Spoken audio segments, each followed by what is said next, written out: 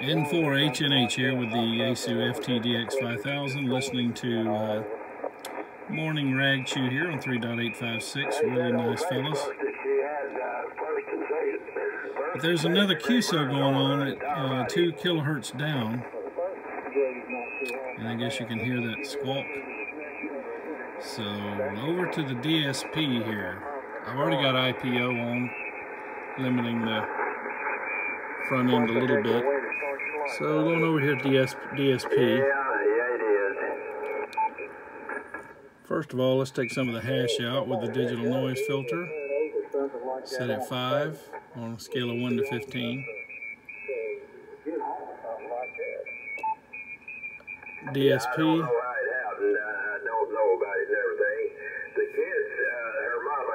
Now you can go down to 1.5 width with it in the normal position, up to 4.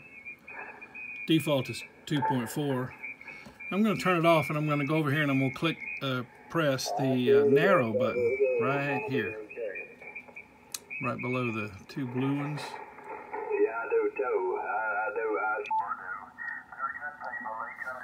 do. All right, now I'll go back over here to the DSP. I'm in narrow mode now. So you can go between 1.8 down to 200.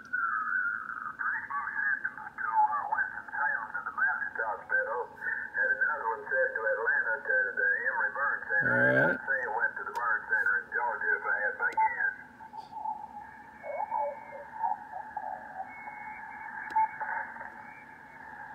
Now I'm going to engage shift.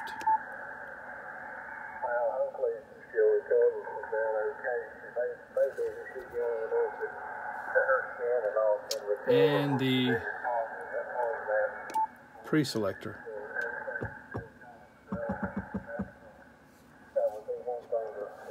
Called Micro Tune or Mutune. Yeah, they live not too far from her grandmother her uh, that baby's grandmother's uh, a Okay, so- trauma nurse, and uh, and oh, she probably got treatment even before the EMS got there. Let's see what it would sound like without all that.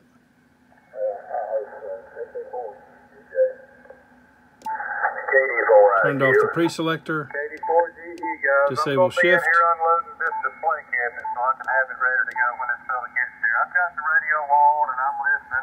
won't be sitting Disable right here at the radio. But I'll, DSP, I'm in and out, y'all. turn off narrow.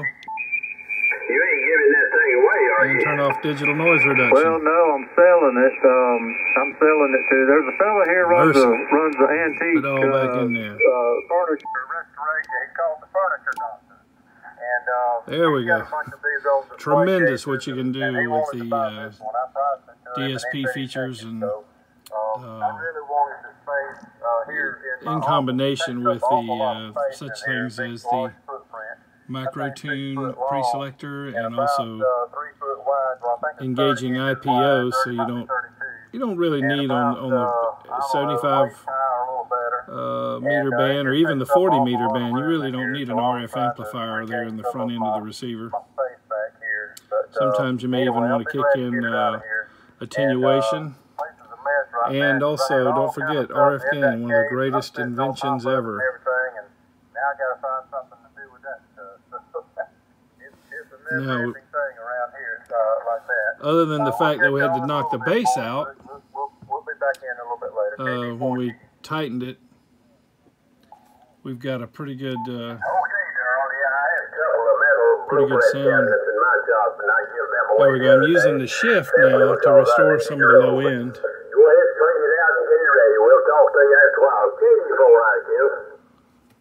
Yeah, it's a lot of glass, but it's um it's mostly just a a um Now, and Uh, ag- oak, again, let me disable all this. and it's carved too. It's carved oak um frame. And then Pre-selector, it's got glass sides, all sides Shift. around the front, back, both sides, and then the top of the glass. digital too. noise So, reduction, Uh, it's, it's mostly glass. Yeah. and then turn it off narrow.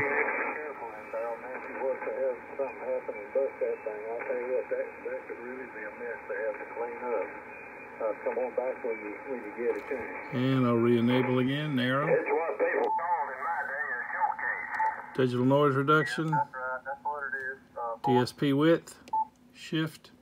preselector.